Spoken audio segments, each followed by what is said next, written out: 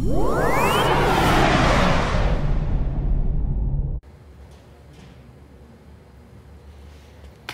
right. Hi, my name is Josh Felpern with Siemens. I'm going to be showing you our Simple Select tool. Uh, just came out a few months ago and it's a very nice tool that was developed to um, choose our valves and actuators very, very simply and quickly. So kind of going away from uh, a lot of folks like to use catalogs and you can still use that, but today I'm going to show you the simple way to select our valves and actuators. Um, here, first off, to get the link to download the Simple Select tool to your desktop will be found at the siemens.com forward slash USA website. You would then go under Building Technologies, click on Building Automation and Energy Management, and then click on Valves. And when you get to that part of the website, you'll see the list of our valves in the left and center part of the page. Here on the right side, you will see where it says Simple Select Selection Tool, Quick Links. Go ahead and click on that and then it will, you can click on the download button and it'll quickly download the Simple Select tool to your desktop, as it says right here. Um, we've already got the Simple Select tool downloaded to our website and this is what it looks like. Now, to start, there's a few different nice features. Today I'm going to cover you know, a couple of the nice features that this tool has. Um, but first off, a lot of customers that I've worked with before, it, it's very frustrating because Siemens has so many different part numbers.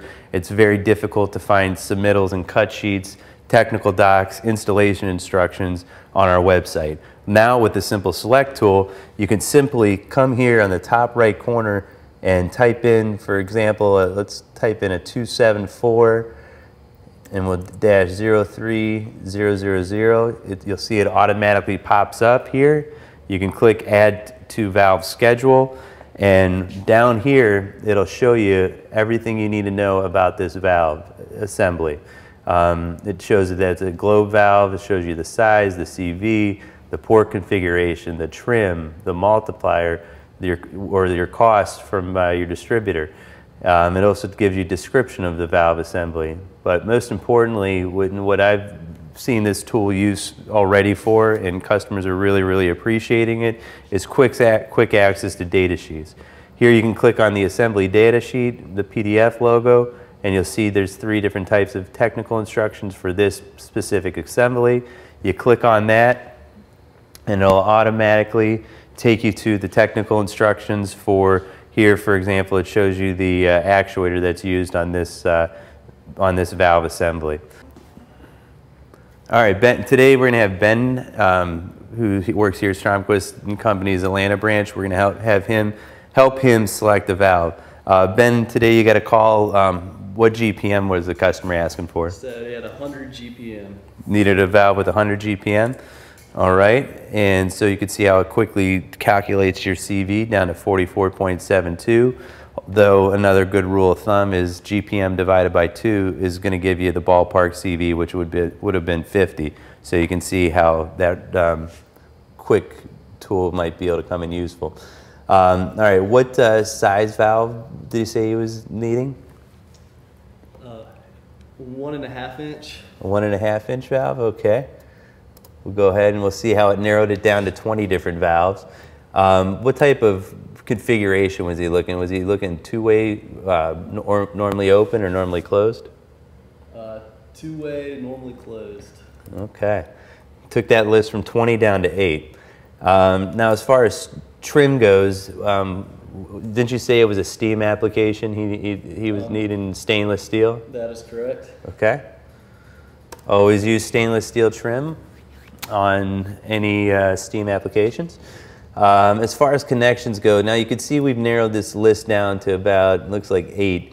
Um, now the connections is where it can get a little bit tricky, but uh, what did the customer say he wanted a specific, you know, female to female connection or a, a female to union male connection? Female to female? Correct. All right, let's see. So that's going to narrow it down to three.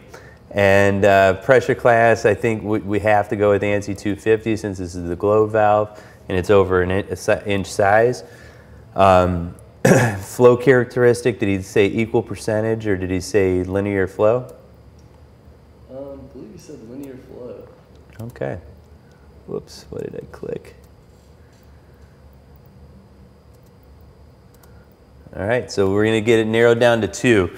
Now, the two different ones you could select here, Ben, for your customer, um, the only difference is you got to go with the best cost for the customer. So um, basically, we would click on the 599-03025 valve body, and now we're going to select the actuator. So right here where it says click to go to the actuator parameters, you click there. And actuator type, I remember you saying it was an electric. What was the control signal they were looking for? 0 to 10 volt. 0 to 10, okay. That's going to narrow it down to 4. Excuse me. I believe we need spring return. And did they say the voltage was 24 or probably 24, right? Mm-hmm. All right. So now we've got a couple different options. Um, you could see the only main, the, now we have to work with close off. Did the customer by chance say what the close off requirement was for that valve assembly? He didn't? All right. Yeah, he didn't mention that. He didn't mention it? All right. So if he didn't mention it, we could go with the rack and pinion or we can go with um, this. This Either one, we're probably going to have to get with the customer. And the nice thing is with this tool is you can give them both options. So we're just going to highlight this actuator and then this button right here, it says add selected assembly to schedule. We're going to add that to the, the schedule and then we're going to come and we're going to highlight the other actuator and we're going to we're going to click add assembly to schedule. So now you're going to come back and you're going to give your customer two options. Um, and just depending on what setup he's used to using and what uh, he's used before will probably be the determining factor on which valve assembly he wants to go with. Um, so as you can see right here, we've added both part numbers. Um, for the sake of an example, the nice thing with this valve, with the simple select tool, is you can tag each valve. So for example, you can type in air handling unit one, boom. You could type in air handling two, boom. And so on. You could change your quantity to you know 21 pieces here and it'll automatically um, put all the quantities on there and then you can continue to tag air handling 3, air handling 4, and so on. And the nice thing is with Siemens is any valve tagging that you need done, we do it for free. There's no extra charge for uh, valve tagging. Um, so that's basically how you would select an assembly. One one other feature that we do have is you can either create an, you can export this valve schedule that you've created for your customer to an Excel spreadsheet. You could also create a PDF. You can also customize it. So basically here, when you type in, we'll type in Ben Project. And then customer name, we'll put Stromquist and Company.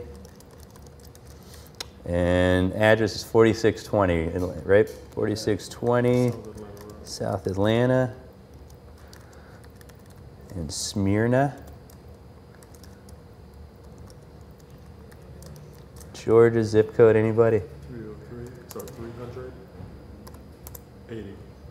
All right, we'll get that. So basically, you can save all that information. Now, that information just customized your valve schedule and obviously you can do it for your own customer, but when you go to uh, do the PDF, you'll see how Stromquist and Company goes right there, so it'll show what this quote's for. You could save this for future reference, enter into your system or wherever you might need to send it over to an engineer. And it's, it's a very nice tool and very, you know, very easy, user-friendly. Um, now, last but not least, I'll just go over all these different columns. Um, some of these columns need to be used, some of them don't, um, depending on who you are and why you would use this uh, tool. So for example, say you really don't need, you don't need to tag anything, you could just uncheck that box and that column will go away. If you don't want to know the minimum GPM or maximum GPM or the preset or the port configuration, you can just 100% customize this to uh, your exact needs. Um, very, very nice, very ni- nice tool, and I think as it becomes updated more and more, it's just going to become more efficient. Are there any questions? Um, well, I do see there's a difference in price. Um, why is that exactly? What's the difference in the actuators? Are you talking about the difference between these two actuators right here? Uh, correct. Okay. All right. Basically, it's a great question. Um, basically, there are two different there are two different options. The first option's a, a, a rack and pinion type linkage, and it's more cost effective option um, with a lower close off. Now, if you're looking for um, a little bit higher close off and a more high performance actuator to go on that globe valve, that's why the SKD uh, 62U actuator is going to be the list price about $600 more. Basically, it's uh, just a better a better motor. Any other questions? Okay. Well, I really appreciate your time today here at Stromquist and Company. And uh, if you have any questions, please do not hesitate to reach out to me at joshua.felprin at siemens.com. Thank you for your time. If you need to control it or measure it, Stromquist Company has a control solution for you. With over $2 million of inventory between our Georgia and Florida locations, an easy-to-use online ordering platform, same-day shipping, and a factory-trained team of controls experts to answer your questions, Stromquist Company continues in its tradition of offering great service and great products.